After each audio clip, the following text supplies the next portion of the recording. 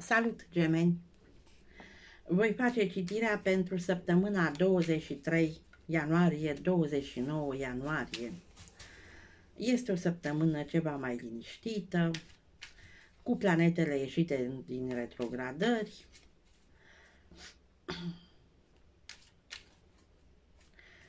Poate puțin mai non-conformistă,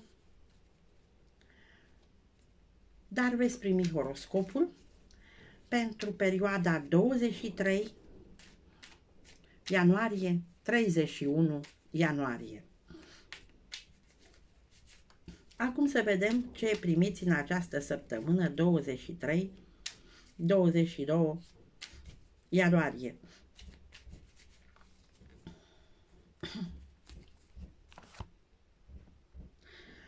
Promisiunile unui rege de bâte. Vorbim de un bărbat peste 50 de ani cu ascendent, zodie, în uh, leu, un bărbat care își arată intenția să vă ajute, uh, să vă susțină, dar uh, trebuie să vă gândiți că acest uh, bărbat întotdeauna uh, preferă, este un bărbat care luptă, nu pentru dreptate, pentru adevăr, dar vrea să-și iasă în evidență, să fie vizibil, să fie cel care decide, cel care uh, hotărăște ce se întâmplă, să strălucească, cumva am putea spune. Haideți să vedem. Voi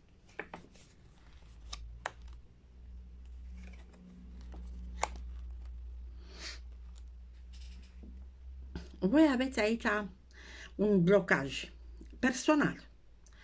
Uh, acest blocaj puteți să-l depășiți dacă luptați pentru dreptate, pentru adevăr, dacă sunteți corecți, uh, cu răbdare veți putea depăși acest blocaj în ceea ce privește uh, fericirea voastră.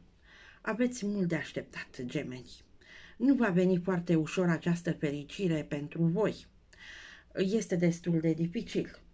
Deci, uh, este o așteptare lungă. Ați întreprins ceva, ați început ceva, o relație nouă, o inițiativă, dar sunteți în așteptare prim, pentru un răspuns în ceea ce privește cunoaștere, uh, studii, Uh, călătorii, voi vreți să vă schimbați. Vreți să luați o schimbare, să nu mai mergeți la un curs pe care vi l-ați fixat, poate, sau într-o călătorie. Vă doriți altă călătorie, vă doriți altceva. Este o schimbare profundă care depinde de voința voastră. Această lume este considerată un talisman al norocului, fiindcă vă ajută să vă schimbați ideile, gândirea, creativitatea, ă, sentimentele, relațiile, comunicarea, energia, vitalitatea și totul depinde numai de voința voastră. Când voi veți dori, atunci veți opri această schimbare. Pentru resurse,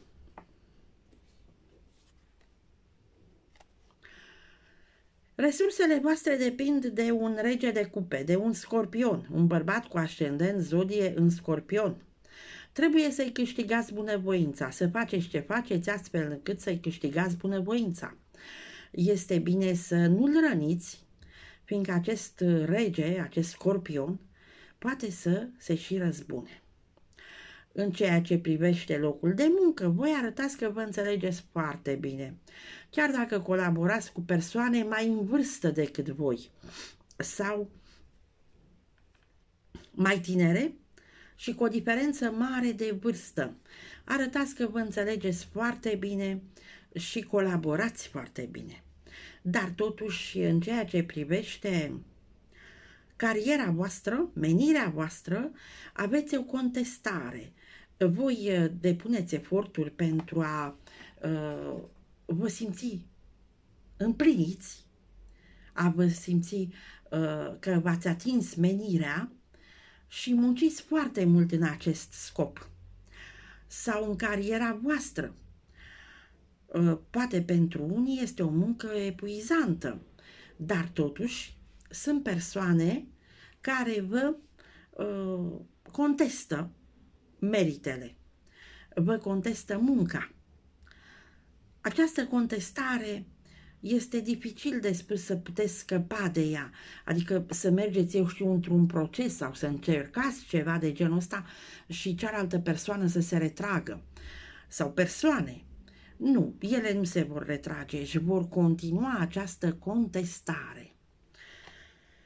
Pentru lucruri mărunte, de fapt. Și comunicarea contracte, relații. Comunicarea voastră este legată de bani. S-ar putea să comunicați cu apropiații, frați, surori, berberișoare sau poate chiar cu vecinii, legat de niște bani. Și acest lucru vă dă un aspect destul de benefic, fiindcă vreți probabil să investiți. Această investiție este mai costisitoare, poate fi o investiție într-o locuință, într-o casă, nu? Sau într-o mașină. Este bine să o faceți uh, atunci când soarele este în aspecte benefice cu Jupiter. Deci uh, este sfatul arcanei. În ceea ce, și veți primi acest lucru la horoscop. În ceea ce privește contractele, asocierile, procesele, voi aveți o rivalitate și luptați în această rivalitate. Vreți să le arătați celorlalți că puteți să conduceți, puteți să acumulați, puteți să ieșiți în față, puteți să impuneți. Și este ca un fel de confruntare între copii. Totul pare ca o, o joacă de copii. Deci, uh, mici bârfe, mici minciuni, unde nu știți niciodată cine câștigă.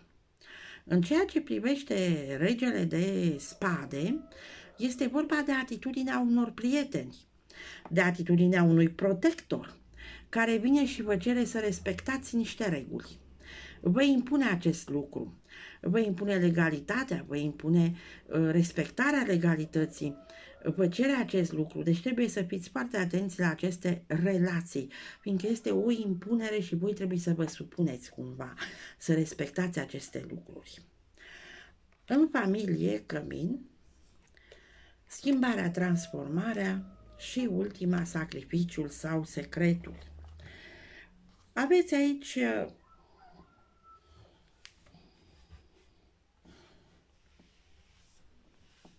o situație în care în familie uh, trebuie să vă gândiți la o schimbare, trebuie să schimbați ceva care să fie benefic pentru voi. Este o schimbare uh, pe care trebuie să o gândiți, să o analizați.